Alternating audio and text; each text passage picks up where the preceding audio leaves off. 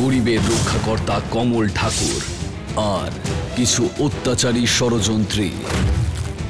আমার শয়তানি আর তোর ক্ষমতা যদি এক হয়ে যায় তাহলে ওর নরক যন্ত্রণা কেউ আটকাতে পারবে না। তুই যখন কমল ঠাকুরকে চ্যালেঞ্জ করার সাহস দেখিয়েই ফেলেছিস তাহলে ধরে নে তুই মরবি। Full on action packed king size movie মহাযুদ্ধ। আজ রাত আটটায় জলসা মুভিজে